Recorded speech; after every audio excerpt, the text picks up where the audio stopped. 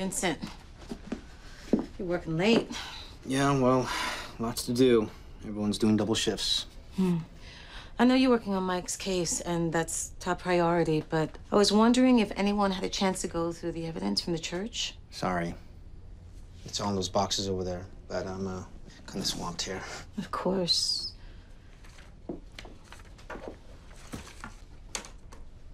Hey, does our forensics team ever take blood slides at crime scenes? No? If any of the evidence is transportable, we bag it. Otherwise, if it's blood, we absorb it into cotton squares, then we bag it. I see. Only one person who ever worked at Miami Metro ever took blood slides And that was?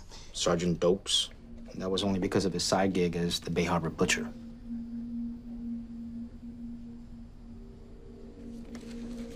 Right. Of course, Sergeant Doakes. Thank you.